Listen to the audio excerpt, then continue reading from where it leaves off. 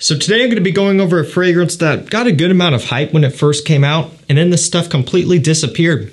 Couldn't find it anywhere, and it was a big bummer. I never even had the chance to talk about it, but now I'm able to, and you can pick it up. So that's pretty cool. It's great news. Issey Miyake, L'Eau d'Issey, or Encens.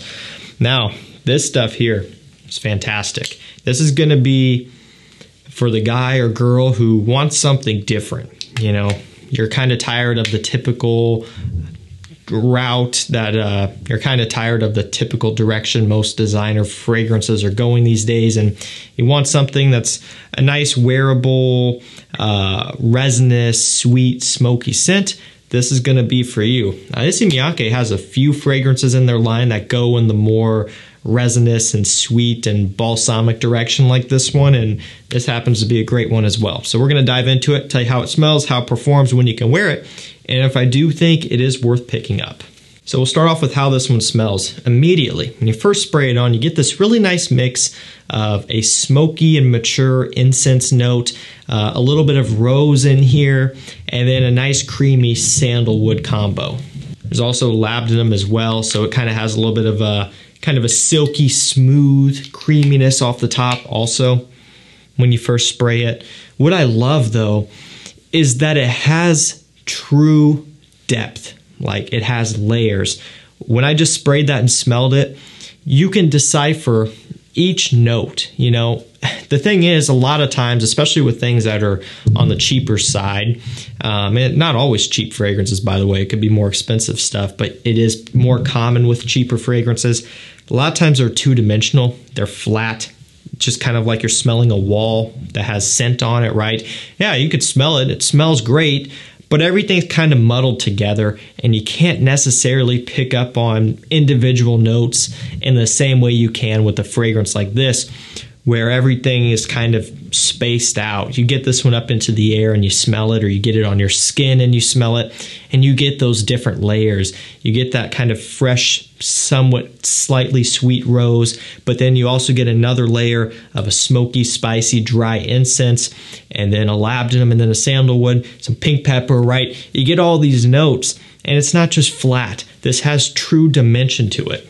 And that may not be that important for some of you, but you'll find that after you've smelled a few fragrances like this that have this true uh, amount of layers to it, you start to get hooked on that. And every time you come across another fragrance that is in the same way, where you can just smell everything individually like that, that's kind of what you start to prefer, you know. And every time I smell something that really is like that, it gets me excited because you don't get that every day. So we'll take a look at the full note breakdown here. They do give us a pretty good one. We have rose and labdanum up top, incense, pink pepper, and cumin in the mid, and leather, amberwood, sandalwood, cedarwood, and vetiver in the base. Very woods heavy down below, uh, a little bit fresh rose up top. Mid, you're getting spicy pink pepper and incense, and then cumin, which also is very spicy. Although I don't really get a ton of the cumin, so that one, you know, if it kind of makes you nervous because you don't like the smell or you don't like anything that is too spicy.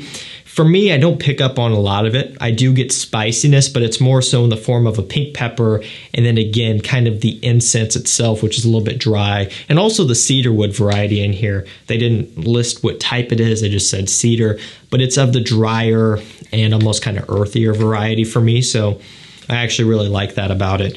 And I also get oud to a slight extent. They don't list any oud here, but I do get some. So I don't know if that's just me. Maybe some of you guys smell that as well. Maybe you don't, but that's kind of what I pick up on. And leather. I do get a little bit of leather. It's slightly animalic to a small extent, not quite to the level of uh, Tuscan leather, but also not as fresh and laid back as ombre leather. Just using those two as an example because most people know those. It's kind of right in the middle. Has a bit of a texture to it and a slight bit of an earthiness, but it also isn't really the star of the show either. It's really all about that rose, incense, sandalwood, kind of labdanum sweet combo here.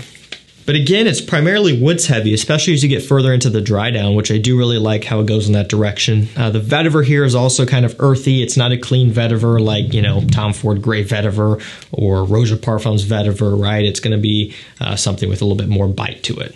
You know, this is one of those situations where I don't really have anything else that smells similar to it. You know, I have a lot of fragrances. I've smelled a lot of fragrances, and I don't really have anything else that smells like this one you know, maybe it can fit into a similar ballpark to certain things out there. Like I saw one of the things on here was Gucci Intense Oud that smells familiar with. Uh, and I don't really think so. But again, that kind of, you know, says that, hey, maybe some other people get oud in this as well. Um, you know, that being said, the sweetness that it does have, maybe it could lean it in slightly in like a Mancera Instant Crush direction with how the oud ish comes across in here but still, I think it's primarily independent. I think this is definitely a, uh, you know a unique kind of one of a kind creation here. I don't think they were trying to clone anything or get super close to anything. Just my opinion, though. Performance is fantastic on this one. It's an eau de parfum, but to me, with how it smells, it almost leans further in the extrait direction. And I bet this is a very highly concentrated EDP, like on the upper end, close to a parfum, if I had to guess, just because of how it smells and the impact and the the amount of depth that this one has and just kind of how it wears it kind of reminds me more so of a parfum. But nonetheless it is a great great performer. You know you would look at a note breakdown like like this and expect that but you just never know. And uh, you know note breakdown could be something like this and have terrible performance but in this instance here it's an 8 9 plus hour scent on my skin consistently even as I've been wearing it here we had a couple cooler days more like actual fall here wore it on some of those days and it did great. Pushes through the air, colder, windier days, kind of rainy, you know, gloomy fall days, which are super nice. It still pushed through. This is a performance powerhouse here. The projection is great. The scent trail it leaves is great. If you spray this up in the air or you're wearing it and you walk into a room, that scent is going to be suspended for a good amount of time super unique. Again, for what it is, this is a great, great pickup. And again, it's a collector's piece. You know, it's really going to be a piece of history. It's discontinued. You know, there's a chance now where you can get it at the link down below for a great price, considering on eBay, you're going to be looking at much more for this one. And there's a lot of, uh, fragrances from the brand that are discontinued that kind of have popped up recently, and um, they just have a lot of good stuff that gets discontinued. Basically, uh, Noir Ambre discontinued, but is recently resurfaced here, and so you can still pick that one up as well. I'll link it down below. That stuff is also amazing. It really is something to see how these fantastic fragrances get discontinued. I mean, it totally makes sense. We're talking a designer brand here, but something like this and Noir Ambre truly to me are fragrances that could be released by a niche brand and in my opinion would do very well. I'm not saying that they should price them at a, you know, Xerjoff price at retail or something, but I think if they were priced at Mancera retail prices or maybe a little bit less or something, I think they could actually do very well and pass as niche. Like seriously the the creativity and everything behind these is awesome. This is great stuff. So that's gonna do it for me. Pour or Insans. I'm sure I'm saying that wrong, but I you know tried to look up how to say it and I just didn't find anything concrete. So I'm just rolling with it. Link down below. Scoop one up while you can. It's going to become a piece of history one of these days, and you're going to wish you had it. I wish I had my box here with me because it's very nice presentation. It slides out. Uh, you can kind of see it the pictures online, uh, but I don't have my box anywhere. Great presentation. Box wise, the bottle's nice, typical standard. Scent is what it's all about, though. And if you can get this one like you can right now, I highly recommend it. Worst case, you buy it, you don't like it, you can resell it on eBay for a profit. Okay, that's just really nice to know. So it makes it a bit easier to blind buy, but I do encourage you to check it out. That's going to do it for me. Thank you so much for watching. Stay safe, stay healthy, and we'll see you tomorrow with another one. Take care.